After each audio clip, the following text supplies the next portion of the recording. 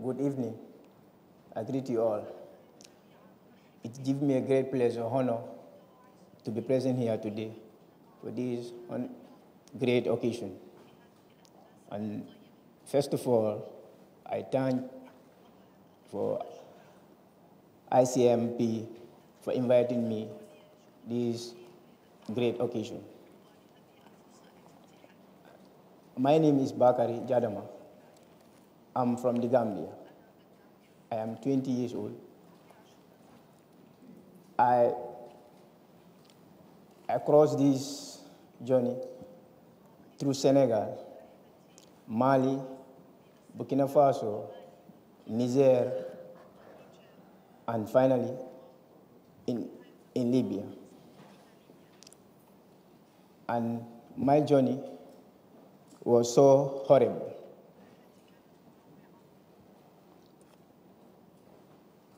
During, during my stay in Libya, I have been kidnapped for several times. During my kidnaps, they sell me like an organization and like a, a group of group of uh, kidnappers. They used buy and selling me.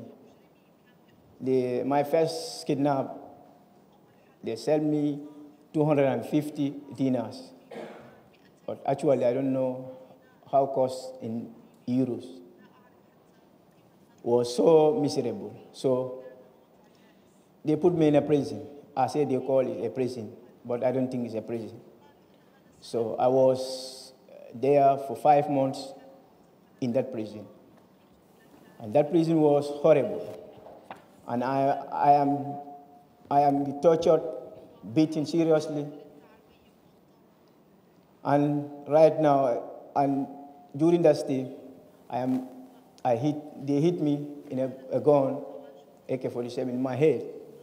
And still now, I have a problem in my head.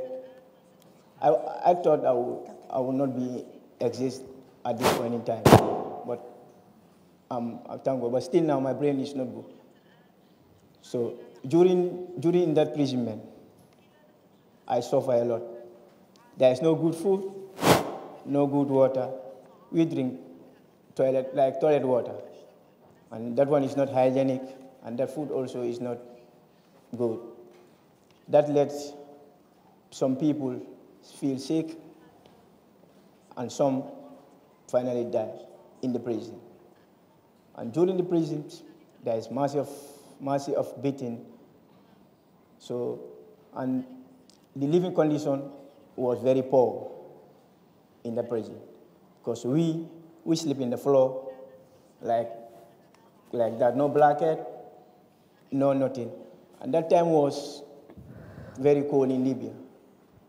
So that caused people some pneumonia, some, some have high, high, high blood pressure, high blood, and the like.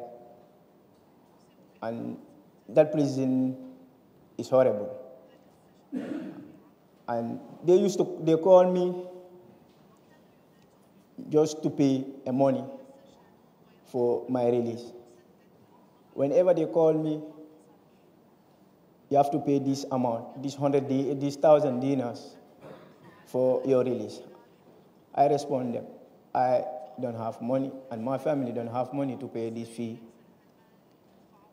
The more I talk about that, that they used, they beat me, hit me, and demand me a current, just, just to call my family. And that one was not practically impossible because my family can, cannot afford that.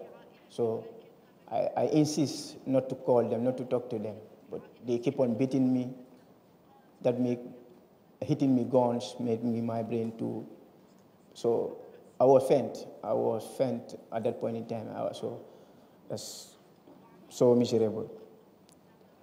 And during my then I have, I have escaped to to enter the Mediterranean.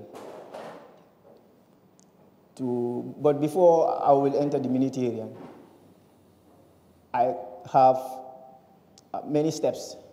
I have many steps towards enter the the Mediterranean, but I was not successful for seven times. Yeah, I entered the rubber boat for seven times. I was not successfully entered. So during, during, during my stay in Libya was so horrible because to be frank enough, I experienced so many difficulties like brutal, beating, so miserable. So, in, in latter part, when I was in the prison, I was escaped from that horrible and miserable thing in Libya. Then I crossed, I came across a, friend, a, boy, a boy called Mustafa. So when I was on the way coming in Tripoli, I was so, uh, I'm just like not a human being. Because when anybody saw me, he, will, he or she will feel me, the condition I am. I was, I was like dead. So Mustafa is, Mustafa is the one helped me. He just hold me and, and, and brought me his, his apartment to give me shelter, food, and everything. And through, he made me to stay his house for, for duration that I will be having opportunity to, to cross the Mediterranean. So we, we was together, and he is so good to me. Sorry, your, your friend Mustafa, uh, what was his origin? He's, Mustafa is from Senegal, Dakar.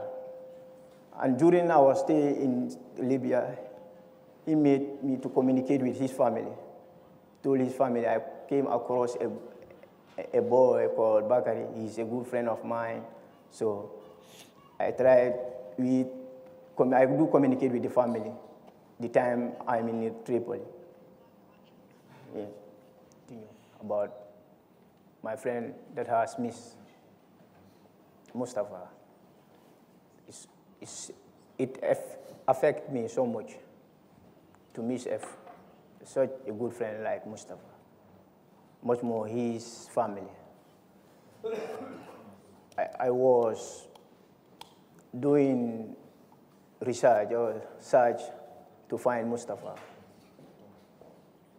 through Facebook and WhatsApp, the groups, to share his pictures so that I will be come across of my beloved friend. Still now, I'm in the process for doing that, but still now, there is no information about Mustafa.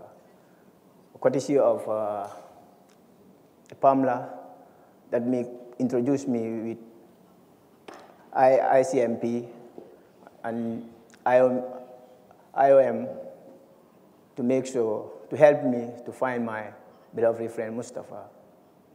And I hope sooner or later I will find my friend Mustafa.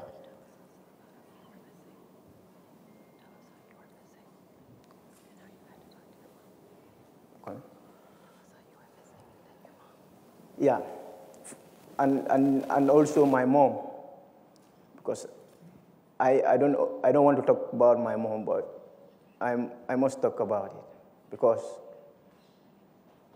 my mom feel about me. Since I left my country, my mom didn't have any information about me. She was trying his level best to have information about me, how I was, either I'm in a, I'm in a good condition or not. But so unfortunately, I was in the prison, I was, I was nowhere to be found. So he, she did not have any information. And he was very sick. Because of me, she is been admitted at the hospital for several times because of high blood. I'm thinking, I, I believe he's maybe he was thinking about me. And so unfortunately, when I en entered in Italy, then before I was having his number, his number, but when I entered here, I don't have his number. So I have a friend, Facebook, so that what that I contact to get my mom's number. And when I call my mom, she did not believe. It's me, Bakary.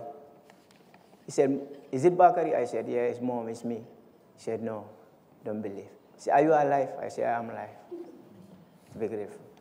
And I'm very sorry about what happened to my mom. Because of me, he was sick and admitted in the hospital. And that one, I feel it so much. Yeah.